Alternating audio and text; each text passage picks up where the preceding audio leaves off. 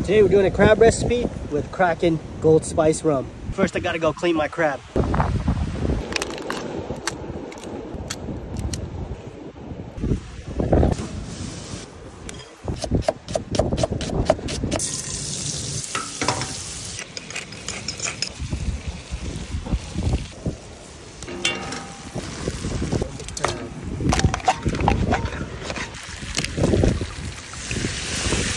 Back up, back up.